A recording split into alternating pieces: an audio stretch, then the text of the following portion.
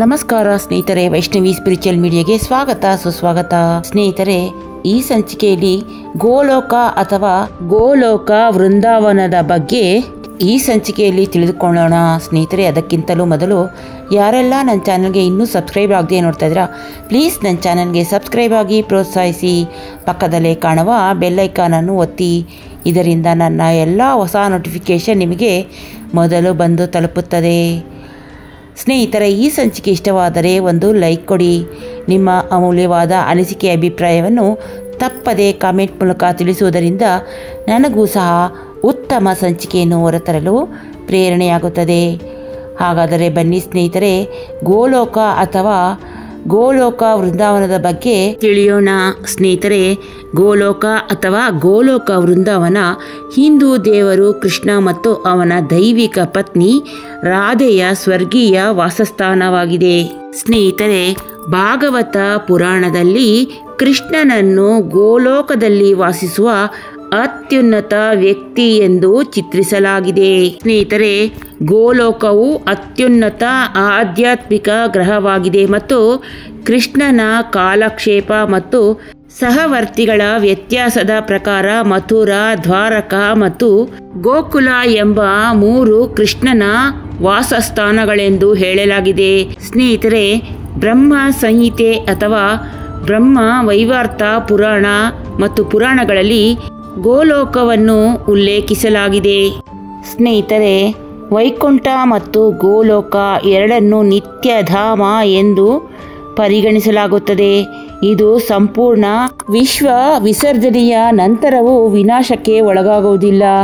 ಕೃಷ್ಣನು ತನ್ನ ಎರಡು ತೋಳುಗಳ ರೂಪದಲ್ಲಿ ಶಾಶ್ವತವಾಗಿ ಗೋಲೋಕದಲ್ಲಿ ಮತ್ತು ನಾಲ್ಕು ತೋಳುಗಳ ರೂಪದಲ್ಲಿ ವಾಸಿಸುತ್ತಾನೆ.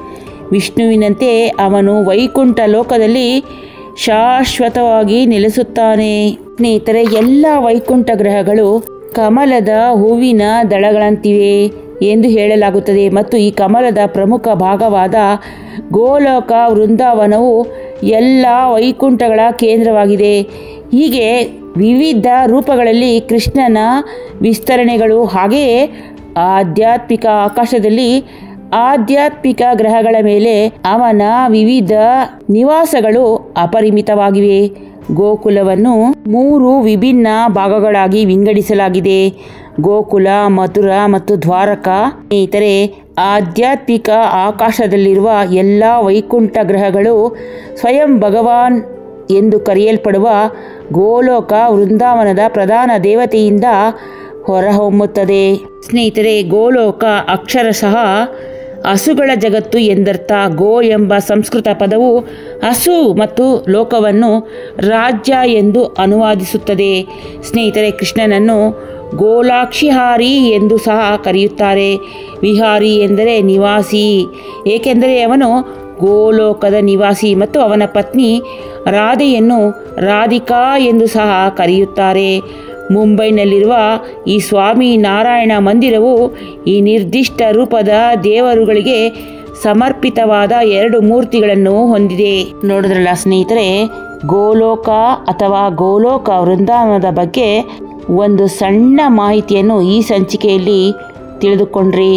ಸ್ನೇಹಿತರೆ, ಗೋಲೋಕದ ಬಗ್ಗೆ ಮತ್ತಷ್ಟು ಮಾಹಿತಿಯನ್ನು ತಿಳಿಯ ಬಯಸುವವರು ಪ್ಲೀಸ್ ನನ್ನ ಚಾನೆಲ್ಗೆ ಸಬ್ಸ್ಕ್ರೈಬ್ ಆಗಿ ಪ್ರೋತ್ಸಾಹಿಸಿ.